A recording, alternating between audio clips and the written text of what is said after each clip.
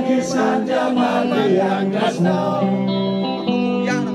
Yang dia sudah terucap